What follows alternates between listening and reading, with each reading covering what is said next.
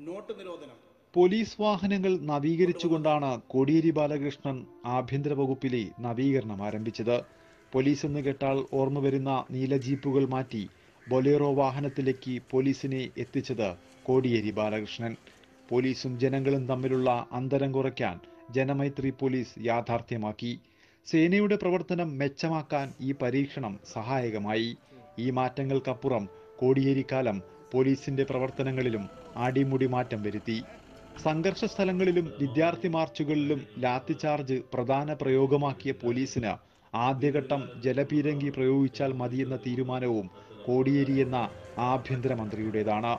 നിരത്തുകളിൽ അശ്രദ്ധമായി നിരവധി ജീവനുകൾ പൊലിഞ്ഞപ്പോൾ ഹൈവേ പോലീസ് എന്ന ആശയം നടപ്പാക്കിയതും കോടിയേരി. പി എസ് സിയിലേക്ക് ഏറ്റവും കൂടുതൽ നിയമനം നടത്തിയതും അദ്ദേഹം ആഭ്യന്തരമന്ത്രിയായ കാലത്താണ്. ആഭ്യന്തര വകുപ്പിനെ ഇത്രയേറെ മികവുറ്റതാക്കിയതും വിവാദങ്ങളിൽ നിന്ന് ഒഴിച്ചു നിർത്തി കൃത്യമായ നീതി നടപ്പാക്കുന്ന കേന്ദ്രങ്ങളാക്കി മാറ്റിയതുകൊണ്ട് തന്നെയാണ് ചരിത്രത്തിലേക്ക് നോക്കി കോടിയേരി എന്ന ആഭ്യന്തരമന്ത്രിക്ക് കേരളം എക്കാലവും സെല്യൂട്ട് നൽകുക. ഷമീർ റിപ്പോർട്ടർ.